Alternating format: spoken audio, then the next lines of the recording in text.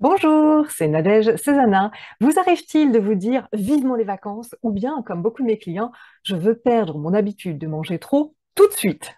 Si c'est le cas, tout va bien. Il s'agit simplement d'impatience et c'est ce dont je vous propose de parler aujourd'hui. Alors aujourd'hui, je vous invite à explorer trois façons, peut-être surprenantes, d'atteindre votre objectif plus vite.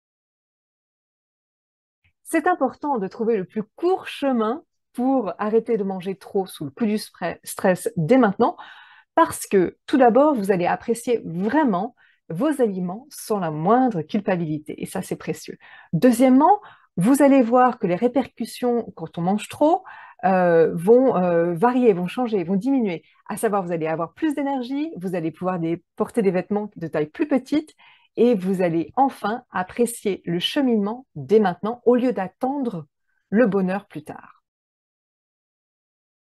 Alors, si vous êtes comme la plupart des professeurs que j'accompagne, la plupart de mes clients qui font appel à moi, voici ce qui se passe peut-être pour vous. Par exemple, peut-être avez-vous remarqué que la semaine dernière, vous avez mangé trois fois sans faim, sans avoir faim, juste pour évacuer votre stress. Et quand vous pensez à ces trois incidents la semaine dernière, peut-être vous dites-vous, je veux cesser cette habitude de manger trop à cause du stress maintenant. Et quand vous vous dites ça, peut-être vous sentez-vous impatient. Ce qui se passe souvent quand on se sent impatiente, c'est qu'on a tendance à gigoter, euh, peut-être on tripote ses cheveux, mais en tout cas on agit avec nervosité. Euh, la deuxième chose qu'on peut faire, c'est qu'on ne se concentre que sur ce qui manque encore, c'est-à-dire ce, négatif, le fait qu'on n'y soit pas encore. Et troisième chose qu'on peut faire, c'est que peut-être on on ne prend pas le temps de réfléchir aux erreurs qu'on a pu faire la semaine dernière, pour en tirer des leçons. Ce qui se passe, c'est que quand on se conduit comme ça, eh bien, en fait, on, se, on rend encore plus improbable la possibilité de cesser cette habitude de manger trop à cause du stress maintenant. Ce qui est intéressant, c'est que cette impatience que l'on ressent ne vient pas de l'objectif qu'on s'est fixé, d'arrêter de manger, de perdre la mauvaise habitude de manger trop quand on se sent stressé une habitude ne peut pas générer euh, une, émotion. Un objectif ne peut pas générer une émotion, que ce soit l'impatience, la patience ou toute autre chose.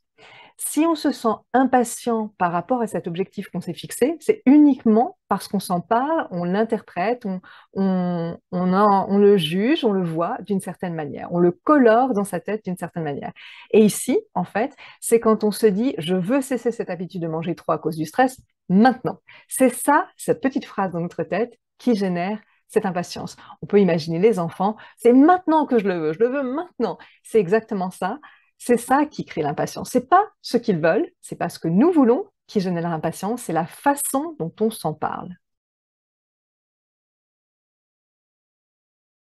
Et ça, c'est très important parce qu'à partir du moment où on a pris conscience, c'est la première phase, de quelque chose, eh bien, on peut le changer, ce qui n'est pas le cas si on ne sait pas ce qu'il y a à changer, ce qu'il y a à changer. Et donc peut-être que ce qu'on peut faire pour commencer, c'est vraiment fouiller un petit peu, regarder un petit peu sous le microscope cette phrase qui nous trotte dans la tête pour voir ce qui peut ne pas être exact dans cette phrase. Alors la première chose, ça peut être effectivement le je veux.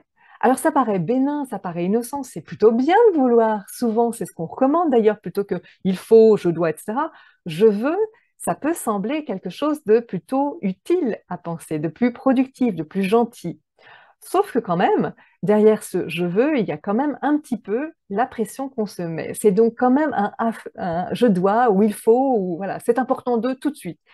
Parce que ce sentiment qu'on a quand même dans l'impatience, c'est une certaine forme de contrainte, une certaine forme de pression qui en fait nous éloigne de notre objectif, de perdre cette habitude de manger trop quand on est stressé, mais aussi de la joie qu'on pourrait ressentir. Quand on se dit je veux, logiquement, on pourrait ressentir de la joie, euh, de la volonté, euh, du désir, enfin quelque chose de plutôt, une vraie envie, quelque chose de plutôt positif. Mais la négativité vient de ce tout ou rien, c'est de ce maintenant, c'est de, voilà, il faut que ce soit tout de suite. Ça implique que c'est urgent, comme si déjà on n'avait pas euh, progressé dans cet objectif et qu'on ne voyait que ce qui manque, que ce qui ne va pas. Et surtout, derrière ce maintenant, il y a cette idée que euh, le moment présent pose problème, qu'il y a quelque chose qui ne va pas avec le moment présent, avec le maintenant.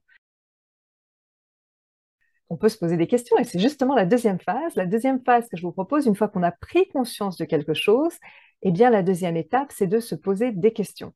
Et donc, les questions qu'on pourrait se poser, c'est tout d'abord, bah, pourquoi? Euh, Pourquoi? À quel moment est-ce qu'on ressent cette impatience? Deuxième question qu'on pourrait se poser, c'est mais pourquoi cette urgence? D'où vient-elle? Comment est-ce qu'on croit qu'on se sentira une fois qu'on aura perdu cette habitude de manger trop quand on est stressé? C'est extrêmement important parce que tout ce qu'on fait, c'est toujours parce qu'on recherche une certaine émotion. Donc, si on pense qu'une fois que l'habitude sera perdue, on se sentira nettement mieux, fatalement, on va chercher à perdre cette habitude. C'est bon à savoir. Derrière chaque action, derrière chaque comportement, il y a une émotion que l'on recherche. Ça, les publicitaires l'ont bien compris. La troisième chose, la troisième question qu'on pourrait se poser, c'est mais qu'est-ce qui vous empêche de vous sentir ainsi dès maintenant. Si vous voulez vous sentir libre, si vous voulez vous sentir soulagé, si vous voulez vous sentir épanoui, pourquoi est-ce que vous n'êtes pas capable de vous sentir ainsi dès maintenant? Et c'est vraiment une vraie question. Ce n'est pas un jugement, c'est une vraie question. Je vous invite à être curieuse par rapport à ça. Donc, on l'a vu, la première phase, c'était remarquer que dans notre tête, il y avait cette impatience. Deuxième phase, questionner. Mais pourquoi? Pourquoi cette impatience? Qu'est-ce qu'on espère de l'avenir? Et pourquoi est-ce qu'on ne peut pas le créer maintenant? Troisième phase, comme toujours, je vous propose quelques pensées qui pourraient vous être plus bénéfiques que cette pensée de je le veux maintenant, je le veux tout de suite. La première pensée que je vous propose, c'est je pourrais me tromper sur le fait que l'après soit mieux que le maintenant, que le futur soit mieux que le présent.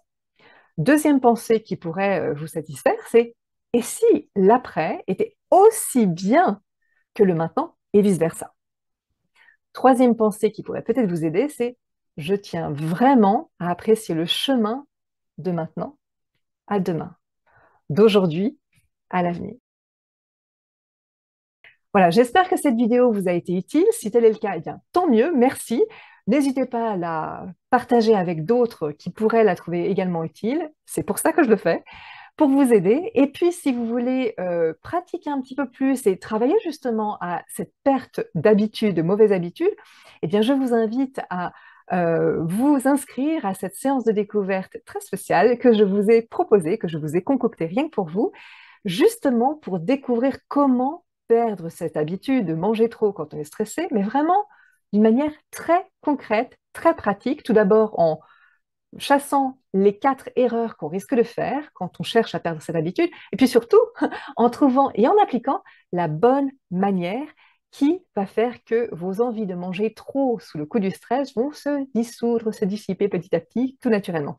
Et enfin, ce qu'on va faire ensemble, c'est trouver un plan, créer un plan qui vous sera adapté pour qu'effectivement, vous puissiez pratiquer sans que ça soit particulièrement... Euh, euh, difficile, de telle sorte que vraiment, au bout du compte, fatalement, vous puissiez arrêter de manger trop lorsque vous êtes stressé.